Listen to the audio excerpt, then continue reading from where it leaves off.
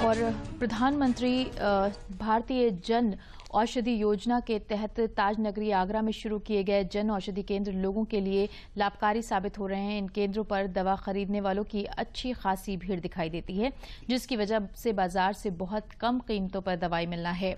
मुख्य चिकित्सा अधिकारी मुकेश वत्स ने बताया कि आगरा में तीन सरकारी अस्पतालों के साथ कुल दस प्रधानमंत्री भारतीय जन औषधि केंद्र खोले गए हैं। जिनमें जिला अस्पताल, जिला महिला चिकित्सालय, मानसिक अस्पताल के साथ साथ सात अन्य निजी औषधि केंद्र शुरू किए गए हैं, जहाँ जेनरिक दवाइयाँ मरीजों को उपलब्ध कराई जा रही हैं।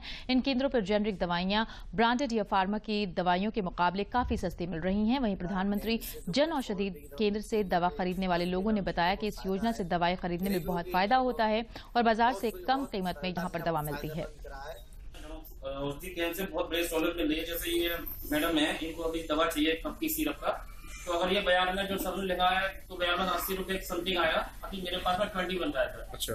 तो ये काफ़ी कम रेट में कम रेंज में गरीबों के लिए बहुत अच्छी सुविधा है आगरा में हमारे यहाँ एक तो महिला अस्पताल है लेडी गर्ल हॉस्पिटल जिला अस्पताल है मेंटल हॉस्पिटल है। तीनों सरकारी अस्पतालों में जन औषधि केंद्र खुले हुए हैं। और उनमें लोगों को काफ़ी फ़ायदा हो रहा है। जो दवाइयाँ बाहर सौ रुपए की अगर मिलती थी तो यहाँ पे बीस तीस रुपए की मिल जाती है। सत्तर, अस्सी परसेंट का मार्जिन यहाँ पे सस्ती मिलती है। और दूसरे प्राइवेट हमारे यहाँ आगरा में दस जन औषधि केंद्र खुले हुए हैं। आम लोगों से मेरे इस संबंध में बात हुई है। वो उनका कहना है कि यहाँ बड़ी सस्ती दवाइयाँ रेस्पॉन्स भी उतना ही है जितना प्राइवेट तुम दूसरे स्टोर से लेने पे मिलता है। उतना ही रेस्पॉन्स है।